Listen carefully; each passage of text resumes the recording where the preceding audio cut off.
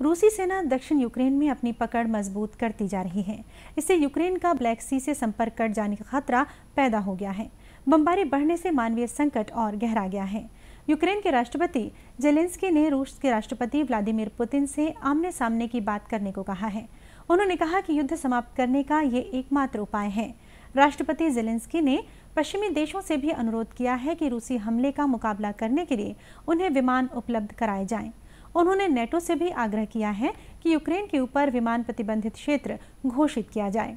इस बीच यूक्रेन के विदेश मंत्री दिमित्रो कुलेबा ने आरोप लगाया कि रूसी सेना ने जापो रिजिजिया परमाणु संयंत्र को घेर लिया है और गोलाबारी कर रही है।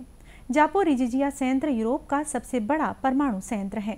परमाणु ऊर्जा संयंत्र के बाहर एक प्रशिक्षण केंद्र में बमबारी के कारण आग लगने की खबर है।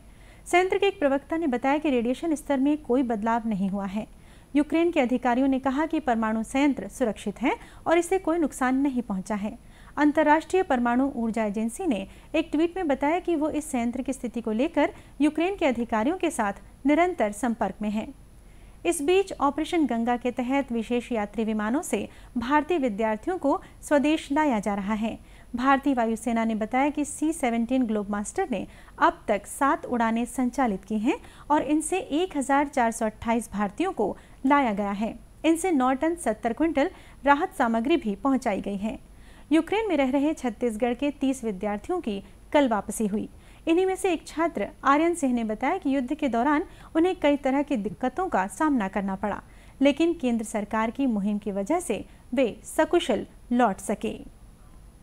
हमको खाने पीने की इत्यादि में तकलीफें बीच में हुई। और साथ ही ये बताना चाहूँगा कि हमारी सारी विमानें रद्द कर दी गई थी हमारे रहने वाले स्थान से, क्योंकि एयरबेस, जो कि एयरबेस बंद कर दिया गया था। फिर हम ट्रेन मार्ग से हमारे लिए ट्रेन की व्यवस्था की गई हमारी यूनिवर्सिटी के द्वारा, भारतीय छात्रों के लिए खासकर। और हमें उस ट्रेन मार्ग से 32 घंटों में 32 घंटों का वह सफ़र, जहाँ पे हमें खाने पीने के लिए कुछ खासा व्यवस्था नहीं थी, सिर्फ़ हमें पानी और गर्म पानी दिया था। तो हमने जो अपने साथ में चावल इत्यादि, हमने जो भी खाने की व्यवस्था स्वयं ले गई थी, उसी के सहारे हम मॉस्को तक पहुँचे। यहाँ पर भारत सरकार की खासी बात ये हम ध्यान देना चाहें कि भारत की जो आज स्थिति बन गई है विश्व में, खासकर रूस का जो उनकी मित्रता है, उससे कारण जो ट्रेन में अन्य रूसी भाई बंधु थे, उन्होंने हमारी बहुत सहायता करी, हमें कुछ खाने की वस्तुएँ भी दी, हमें सोने रहने में बिल्कुल मदद की, हमें चीज़ें बताई। जब वतन वापसी बहुत साफ़ सुथरे तरीके से और सकुशल किए हैं, इसके लिए मैं भारत सरकार का कोटि कोटि धन्यवाद करना चाहूँगा। जय हिंद।